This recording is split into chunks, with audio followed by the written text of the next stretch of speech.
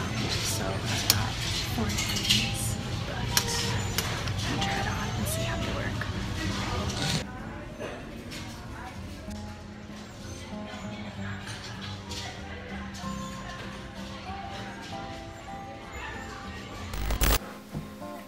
Hey guys, it's me Molli. So today I have a thrift haul.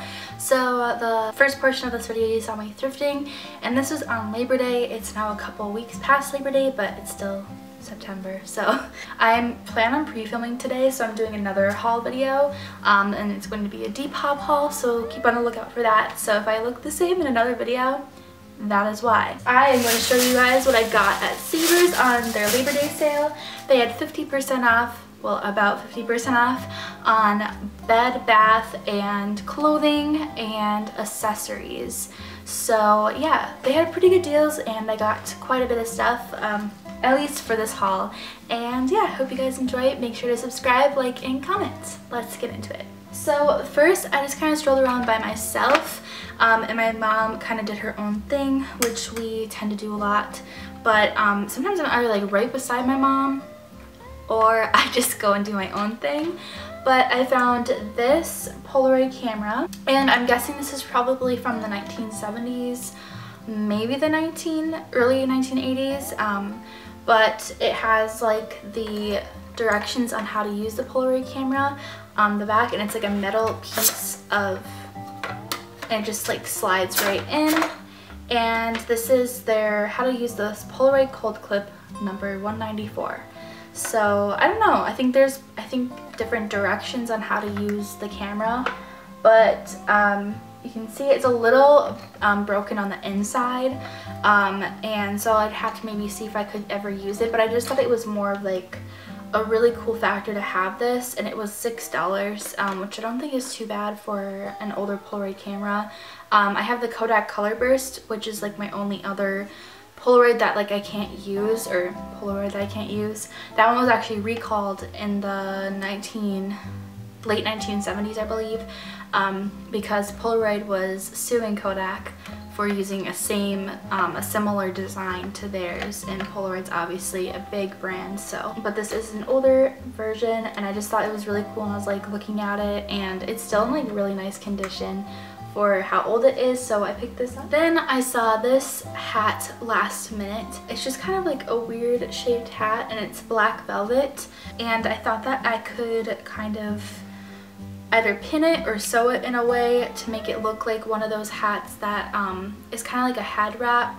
But I have this um, idea for an outfit with this so I'm hoping that it will work out. But it was like three dollars and I was really excited to get this. Then as you saw in the try on when I was in the fitting room um, I was kind of joking around with this one. And I thought it was so fun. So it's a brand new which I didn't even realize it's from Sears from like the 19 probably the 1990 it could even be as early as like the 1980s, but it's by Carriage Count, uh, oh I thought it said Carriage Count. It's Carriage Court. It's a size large. It was $7.99, so it was like, I think closer to $4, like $4.50. And it has buttons up the front and it has pockets on the sides and then it has like a summer print. So it's just um, like there's a beach chair with an umbrella, um, a sailboat, an island with some palm trees, somebody um, water skiing, and uh, those are the little prints and it's like a really cool color. It is see-through so I'll probably wear like a slip underneath or something. But I thought this was really great for like an end of the summer find that I could definitely pull out next summer and it actually fits super comfortably so that was awesome. Then I got this number which is upside down. But I got this and it's a black striped um, with like a gold um, stripe turtleneck and it is from Charter Club and it was $6.99 and it's a size large and it fits very comfortably. It reminds me kind of like something that my grandma would wear um, with like her cute little like capri trousers and like her keds. She always wears keds and um, I don't know, I really like this. I really like layering dresses with like long sleeves underneath or even short sleeves, so got that. And lastly, I had my mom buy this because like I was like, I'm in college, back to school, um, it's $10.99. It's an American Eagle dress and I think it shrunk in the wash. It was definitely worn a lot by the person that had it prior, um, but that's what I like about it because you know, the thing about thrifting is like obviously the pieces were worn or sometimes they're brand new like that romper. It just makes things 10 times more interesting and gives it character. Like I never really expect anything to be perfect when I pick it up at a thrift store. I just love the feel of this one. It's definitely really comfortable.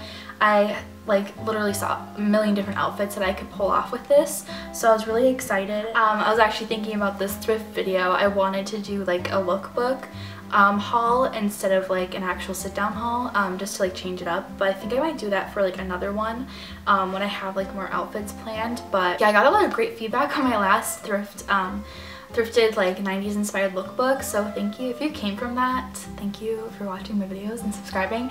Um like every time i go on my channel i at least have one or two more subscribers. And like my heart just like bursts into happiness. Like oh my gosh I just get so excited so I definitely want to keep up with these videos and not just like thrifting stuff but also like um, my lookbook that I worked forever on which was my Stranger Things lookbook if you guys want to watch that um, you can definitely put it in the eye I think I've never used that before so we'll try it but um but um I have a million other ideas. I'm actually working on a Clueless one right now. I have nothing filmed for it, but I have my um, spreadsheet for it, um, my blueprint. So I have lots of ideas. This head is always going um, one way and I'm going the other so I'm always trying to figure out time to do stuff. Thank you guys for watching. Be sure to subscribe. It means the world to me. If you came from the Thrifting Amino app, hi! Uh, my name is Molli. I make thrifting, fashion, lifestyle videos. I've been on YouTube forever and I'm finally taking it more seriously, maybe because I am an adult now. Um, but no, for real, I've loved YouTube since I was 12 and I've had a YouTube channel since I was 12. It's been like seven, almost eight years since I've been on YouTube and leave your channels below if you have a similar channel. I love thrifting videos and we can be a cute little thrifting YouTube community as well as the Thrifting Amino community. So yeah, and if you don't know what the Thrifting Amino app is, um, I'll link it down below. It's super fun. So again, thank you for watching. I'll see you guys next time.